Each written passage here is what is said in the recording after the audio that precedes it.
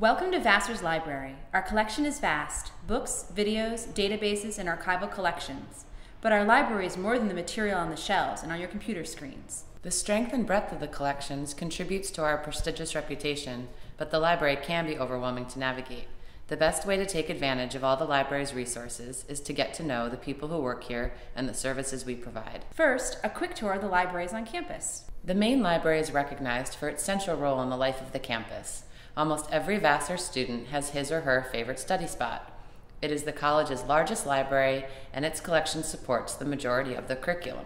Adjacent to the main library, the art library contains an extensive collection of beautifully illustrated volumes, exhibition catalogs, and books on art history. The Visual Resources Library works closely with the art department and also provides images for classes in other disciplines.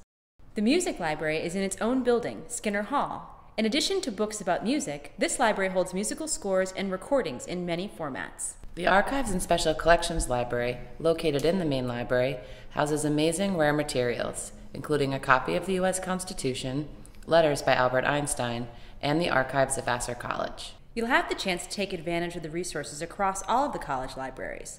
But let's get you started by telling you about some of the services available in the main library. The reserve desk is where your professors will leave materials they have assigned for your classes.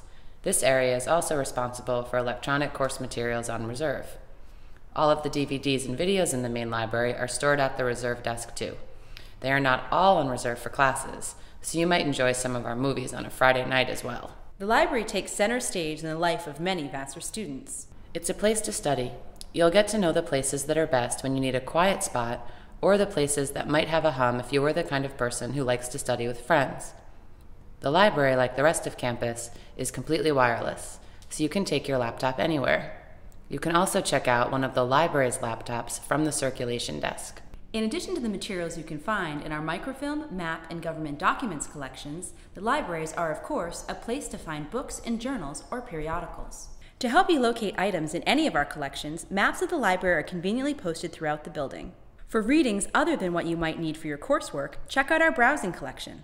There are great study break reads, including the latest in biography, political commentary, fiction, and poetry.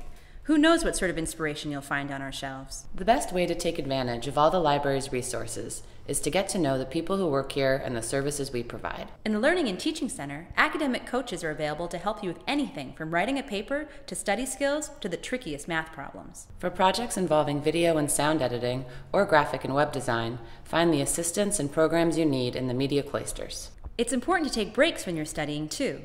Upstairs in the library tower, there is the Quiet Room, a place for quiet contemplation, where you can relax a mind buzzing with new knowledge. When you need a snack or a caffeine fix, Matthew's Bean on the ground floor is a great place to go.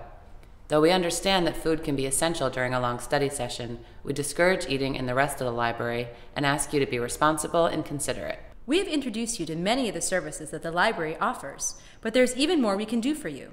If you have any questions, please visit the circulation or reference desk. The circulation desk should be your first stop to do anything from check out a book to ask how to find the art library. Visit the reference desk to speak with a librarian about your research and learn how to locate even the most difficult to find sources. We have a great collection, and if there is something that we don't seem to have, we can very likely get it for you through our interlibrary loan office. Just stop by and ask us. As the Vassar campus becomes your home away from home during your years here, we hope that the library becomes one of your favorite rooms in the house. Welcome, Welcome to, the, library.